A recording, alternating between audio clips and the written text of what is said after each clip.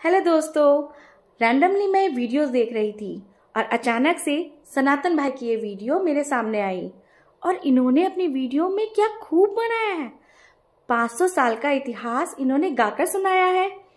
इनकी वीडियो ने छुआ मेरा दिल और मैंने किया इनको आपके साथ शेयर ये वीडियो देखिए, सुनिए और कमेंट करके मुझे बताइए कि आपको ये वीडियो कैसी लगी। क्या इस वीडियो ने आपका दिल भी छुआ? चलिए देखते हैं। जय श्री राम। मंदिर बन रहा है। ये कहानी हम सबको पता है। लेकिन राम मंदिर कैसे बना, ये हमें नहीं पता। आओ तो मैं कहानी सुनाता हूँ। जय Shri Ram.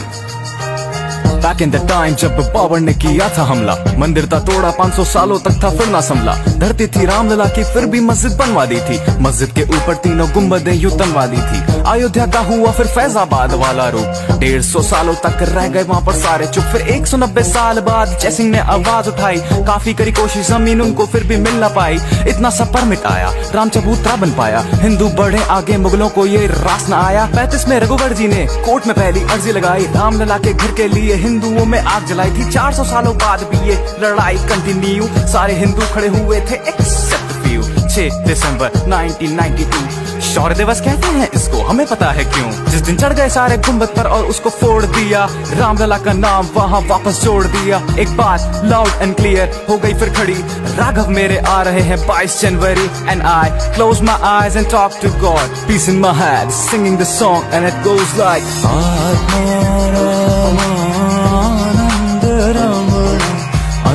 Achyut Keshav Hari नाम